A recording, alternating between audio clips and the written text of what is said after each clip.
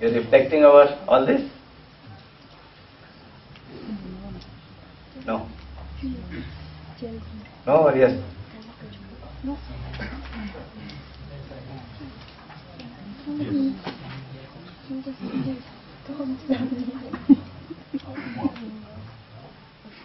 What we would do is take, uh, you know, the questions that have come to your mind.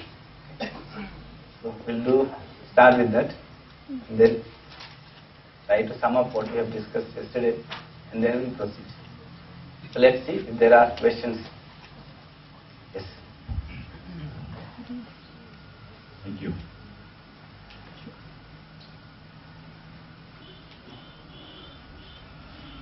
Uh,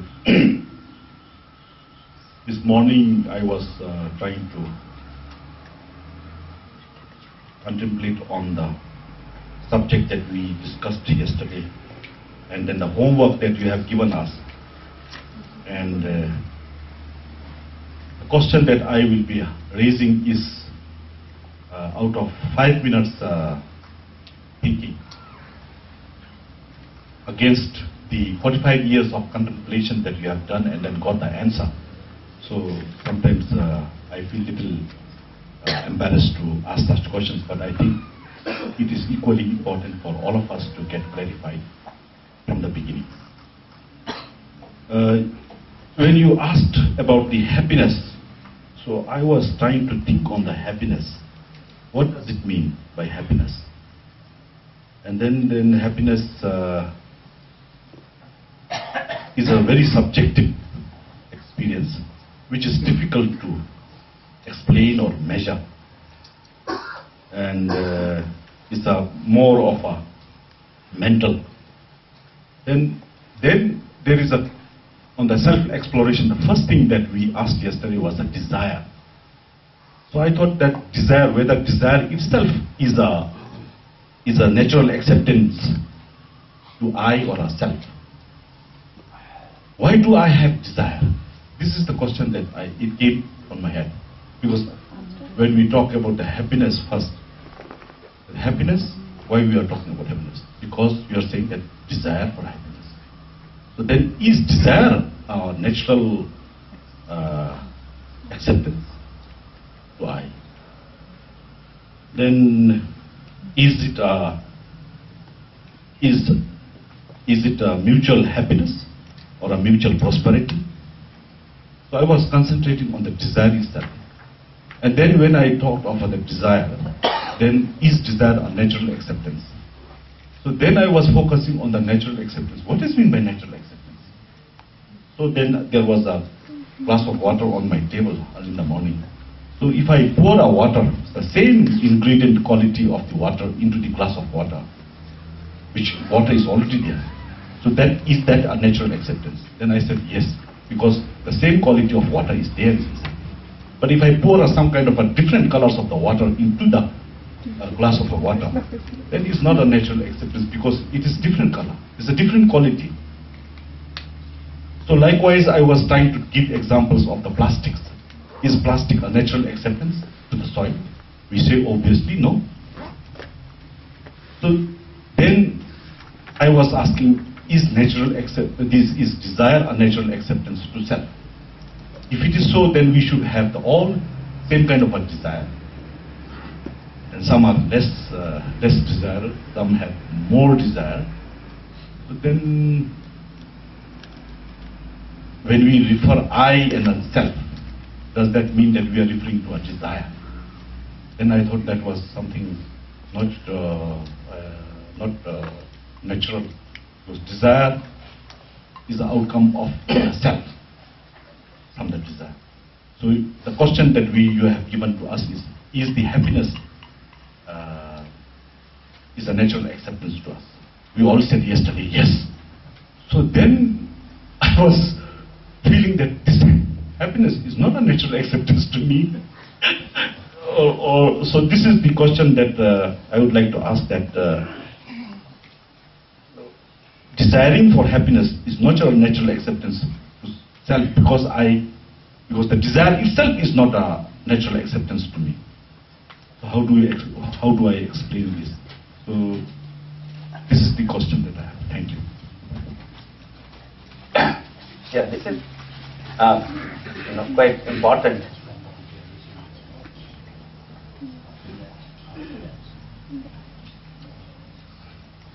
In many of these traditions, it, uh, this was quite, you know, uh, realized that the physical facilities and the sensation through the body cannot be a source of continuity of happiness. This was a realization, and therefore they started investigating into the possibility of what is going to be the source of continuity of happiness. This was a conclusion which was drawn quite early.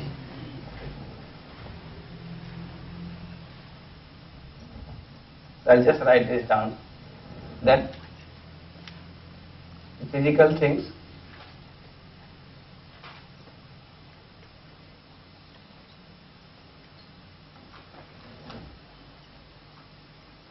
coming in contact with the senses of the body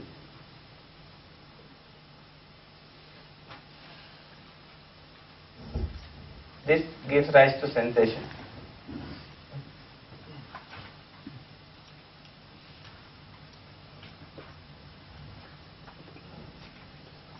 Which is tested by the self. Right?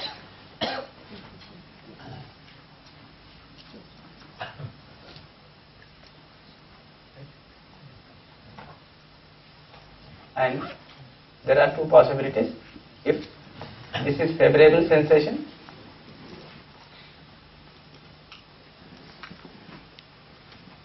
Then it leads to happiness. You feel happy. If this turns out to be unfavorable or undesirable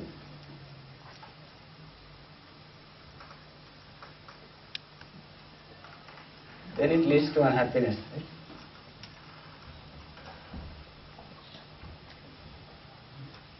This is the model of happiness that most of us are following. Right? So if you look at this animal consciousness that we were talking about yesterday, right? The model that is followed for ensuring continuity of happiness is this. That if I have the physical facility and if the physical facilities come in contact with my senses of the body, right, I will get certain sensations which when I okay, and I find it favorable, I feel happy. If I find it unfavorable, I feel unhappy.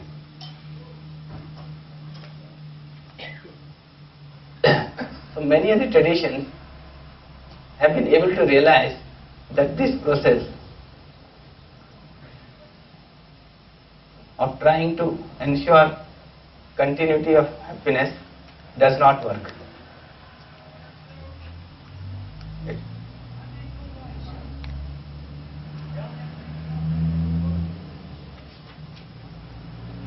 This cannot. Ensure continuity of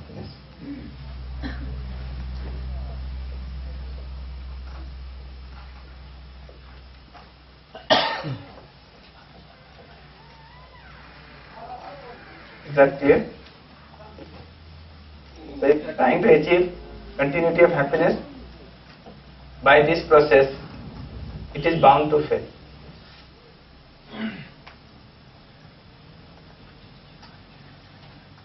Because yesterday we had mentioned that if you try this process, okay, it goes through this. Initially it sounds necessary and tasty. After some time it will become unnecessary. Like the example of Rasgulla we had taken, right? If you still continue up to the neck, right, it becomes unnecessary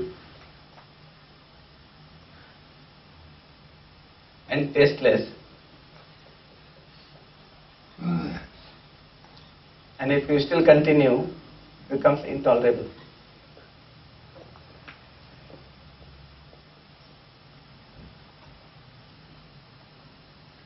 With anything you try. Okay?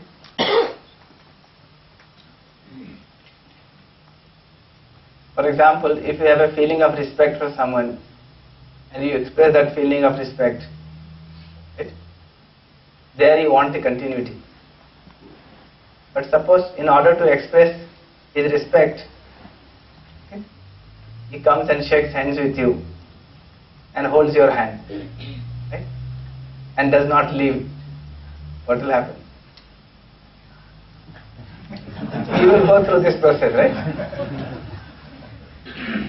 If he's not leaving your hand and just holding it, okay, then you will have to start shouting for help.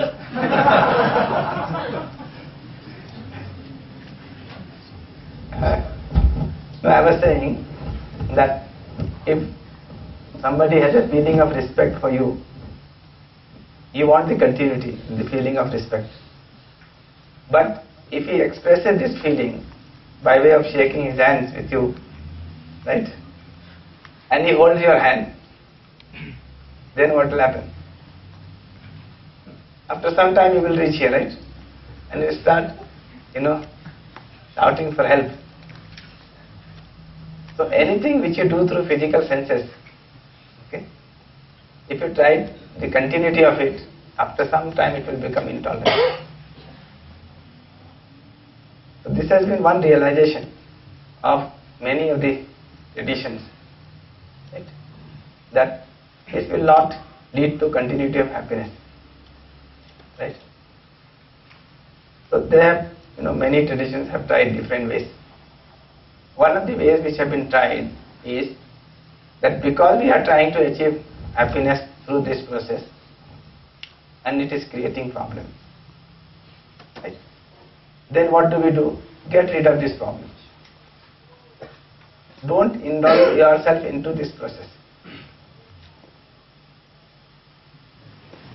So we said your very expectation of favorable and unfavorable sensation is what is creating problem.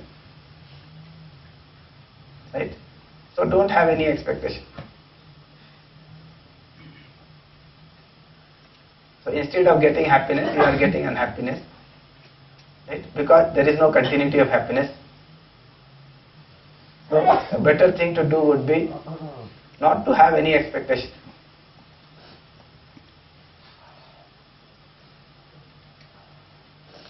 So that was one possible way which was tried. So I want to have a very tasty food, you know. And when my wife cooks the food, and for some reason it is not of the same taste as was my expectation, right? Then I become unhappy because that's my only source of happiness, right?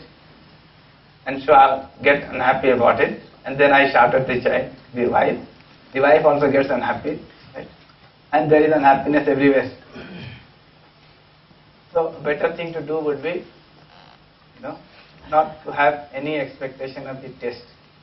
This was one method which was tried. So if I don't have any expectation of a particular taste, then irregardless of what my wife cooks, it is okay. It does not lead to unhappiness. So, and no fight and no, you know, further expansion of this unhappiness. But what we are saying here is that this is not enough. Whether to indulge into this is not enough. And trying to get rid of this is also not enough. The role of this physical facility and the senses is important to keep your body in good health, for nurturing of the body, for protection of the body. And in that sense, it is important. It is neither to be overemphasized nor to be undermined. It has some specific implication which we can understand. And what is that implication? Through senses, I can find out what is good for my body, what is not good for my body. So this is for nurturing of the body, ensuring the health of the body. It is not something to be overemphasized or hmm. underemphasized. This is not the program of action to ensure continuity of happiness. That is the mistake we have made. Then what is the program of action to ensure continuity of happiness? That is to ensure right understanding and right feeling. There we want continuity. And there is possibility of continuity there. that is what we have you know, tried to you know, draw your attention towards yesterday. That when it comes to happiness, right, the program of action would be to ensure right understanding okay, and right feeling, which leads to my happiness and also happiness of the other. That is the program of action to ensure continuity of happiness. This physical thing is important okay, to keep my body in good health. It may also be useful in communicating with the other. So one is to keep in good health, the other is to communicate with the other. For these two things, the physical facility and the senses are important and useful, but not to ensure continuity of happiness in you and in your relationship with others. So you can see this is has to be properly placed, neither underemphasized nor overemphasized. So what we have done in many of the traditions is that first we overemphasize it. We thought that continuity of happiness cannot can be ensured by this, so we tried best, level best, and this is what modern civilization is trying still. Modern civilization is still trying with this. Many of the traditions have already realized that this does not work. It cannot ensure continuity of happiness. In that sense, many of these traditional civilizations are far more mature than the modern civilization, which is still trying on this. That's the model, right? What do you think? Your modern education, the modern society, is it trying with this or it has realized that this will not work?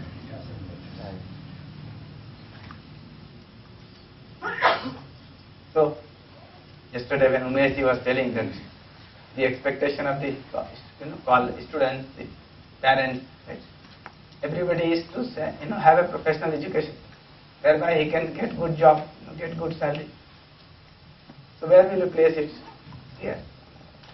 In essence, this is what we are trying. What we are saying, this does not work to ensure continuity of happiness. But then we are also saying that trying to get rid of this process also does not work. Because it has certain importance. It is important for keeping our body in good health. Right? So these physical facilities are useful to keeping our body in good health. These senses are useful right, to find out what is good for my body, what is not good for my body. Like how do you decide something has got rotten and you cannot eat it? By the taste, by the smell, by the, you know, sight. You can see that it has got degenerated, right? So all these senses are useful in that sense. Similarly, to communicate, we use senses. When I am speaking something, you know, I am using my body. When you are listening to it, you are using your body, your senses, right? So that is useful in that sense, keeping the body in good health and to communicate. But it is not good enough to ensure continuity of happiness. So many of these traditions who came to this conclusion, they said don't have any expectation, don't have any desire because that is what is creating unhappiness. Then what do we do? It is not very clear. This will not work. This was very clear. Which the whole modern society is trying now. This was already realized that this will not work to ensure continuity of happiness. But then to get rid of this will also not work. Because this is not the real issue. This has certain very specific purpose and that can be fulfilled. And that is to keep the body in good health. And the animal is already doing it.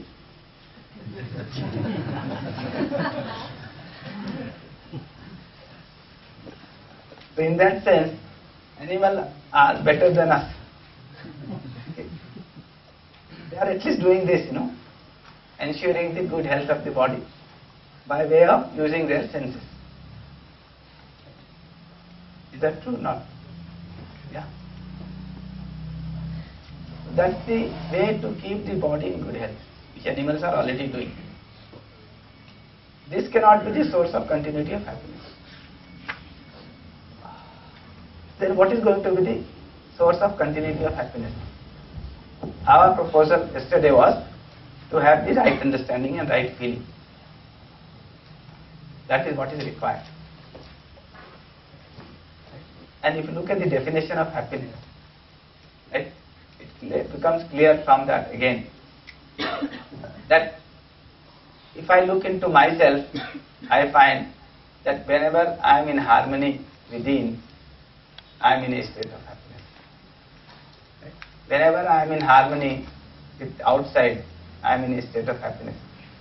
Whenever there is a disharmony, whenever there is a contradiction, I am in a state of unhappiness. So though it is an issue of mental, you know, state of yours, but this mental state can be understood. Right? It can be defined. It is certainly talking about the mental state. But then we can talk about it, we can understand it, we can explain it to the other.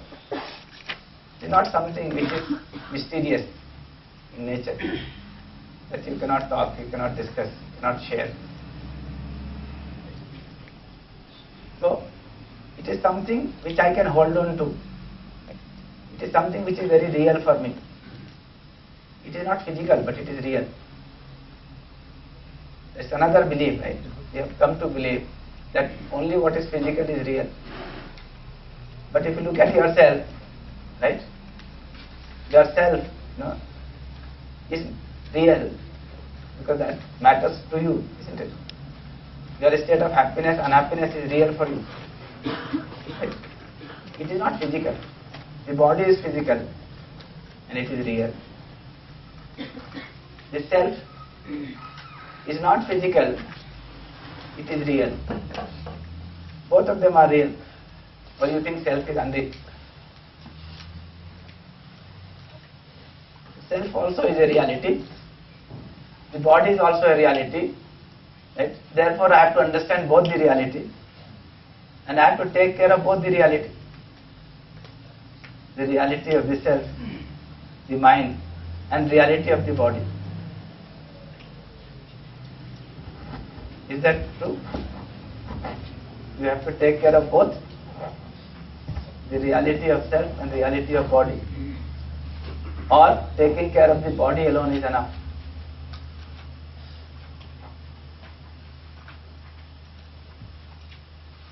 What do you think?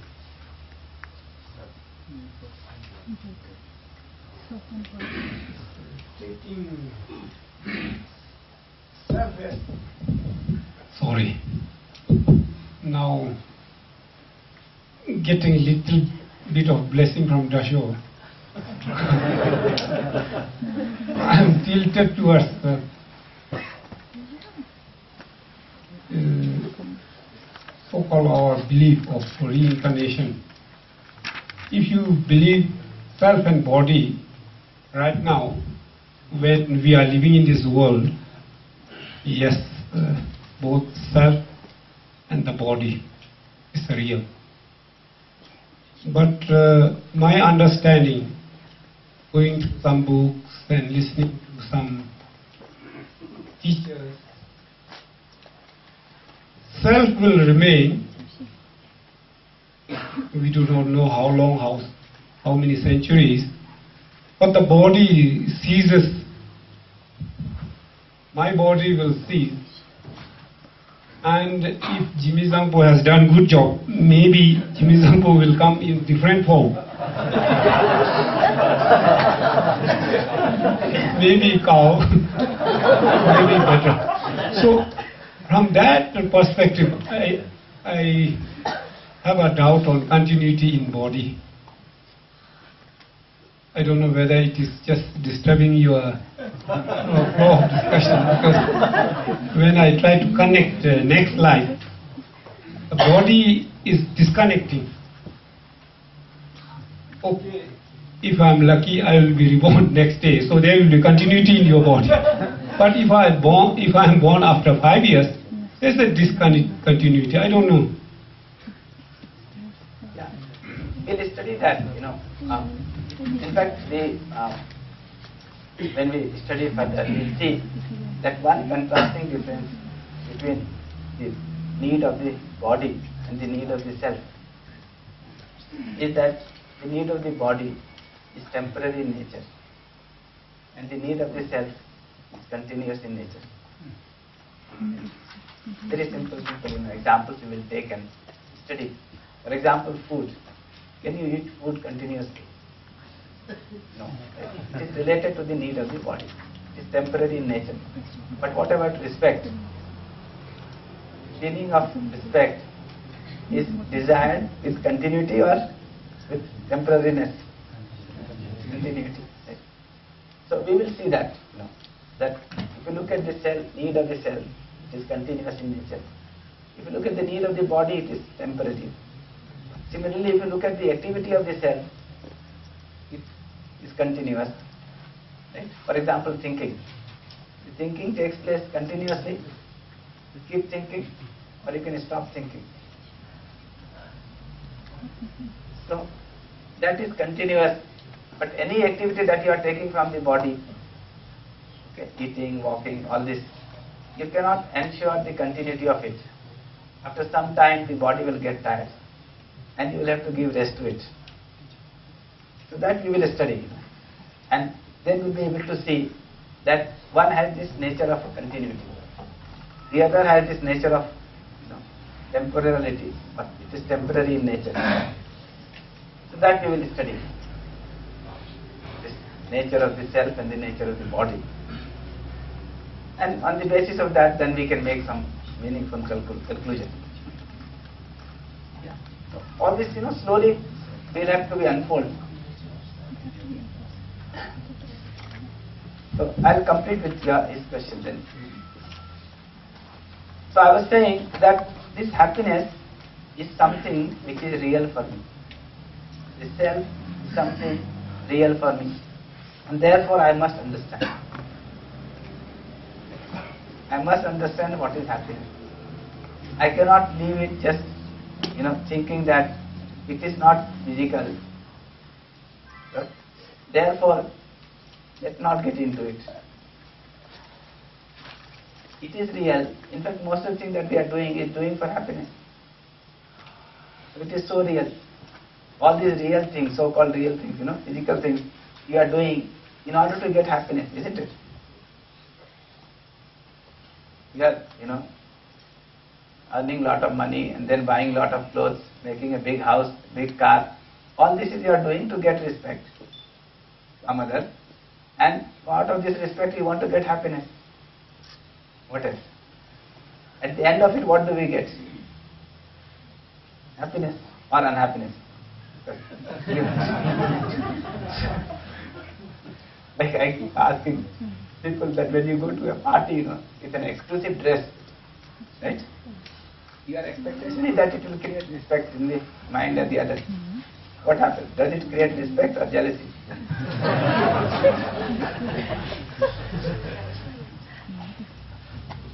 so you might end up getting unhappiness instead of happiness.